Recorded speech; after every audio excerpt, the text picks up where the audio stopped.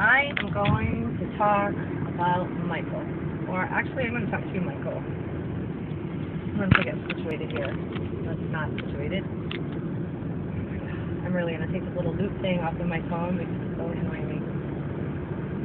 Hi, Michael. I'm sorry I'm smoking. I am not going to post this one. I'll put it on YouTube, but I don't think anybody looks at these. At these. I just want this to be for you. Today is July something. I'm sure it's July, and I think it's 2012. I know it's July 2012, and I think it might be the 14th or the 15th, something like that. It's Monday. Um, I don't usually know the date unless I have court, and I did have court today, so what was the date? The 16th. See, I go by days at court. I kind of lost my mind a little bit after you left, and made all kinds of big changes that I thought were the right changes, but they weren't really the right changes. What it really was was real lesson for me and appreciation, one that you're having right now, hopefully. I can tell by your letters you are. But I thought that I hated my life and I wanted a new one. I thought I hated everything that I have and I was wrong. I love my life and I love everything that I have and I worked really hard for it. And I'm really lucky I didn't lose all of it. And you're really lucky you didn't lose all of it either. You didn't lose all of it. You had to go where you had to go so that you could learn. And unfortunately, we don't all go to places we want to go to learn. I've been pretty terrible places to learn lessons. Never jail, but uh, only because I'm lucky.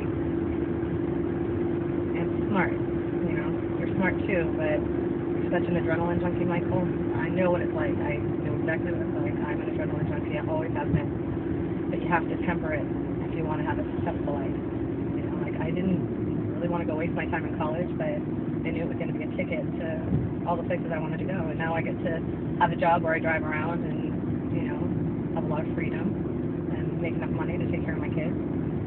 So I don't want to go to work right now. Matter of fact, I definitely don't want to go to work right now. I want to go have a lunch date with a handsome Belgian man. So I'm going to push it up, and I'm going to go to work, and I'm going to take care of everything I have to take care of so that I can go have one. And then I'm going to quit smoking. Tonight. I'm going to quit smoking tonight. Alright. I think it is going to rain. I'm coming to see you soon. I have never gone this long without seeing you or hearing your voice. And I know I'll hear your voice soon because you'll be able to call me soon. And I hope you got the letters and the pictures that I just sent. I hope they make you happy. And I hope you're okay every second of my life think of you and Alex every single second, no matter what else I'm doing. You guys are always, always, always on my mind, in my heart. Everything I do is for you guys. Everything. If I had one reason for existence, if I had to pick just one, it would be you two. My voice.